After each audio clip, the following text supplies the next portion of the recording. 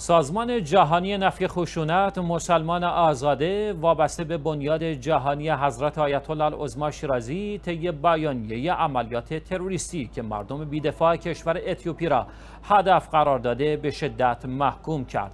به گزارش شیویوز اخبار شیعیان جهان در بخش از این بیانیه آمده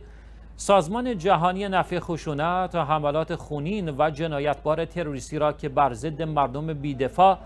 و بی پناه کشور اتیوپی صورت گرفته به شدت محکوم می کند و از متولیان امر و مسئولان این کشور می خواهد در حمایت از شهروندان خود مسئولیت پذیر باشند و به مسئولیت قانونی خود عمل کنند.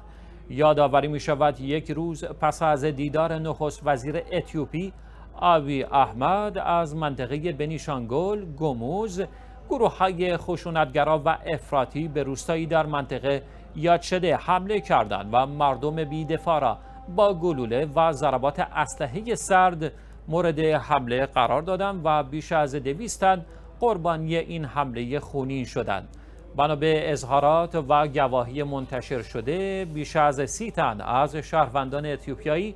به بیمارستان ها منتقل شدند که از نظر سلامتی در شرایط خطرناکی هستند. منطقه‌ای که مورد حمله تروریستی قرار گرفته است منطقه‌ای با ساختار عجیبی دارای ساکنانی با نژادهای گوناگون است و به همین دلیل زمینه بالا گرفتن عملیات انتقام جویانه و خونین فراهم است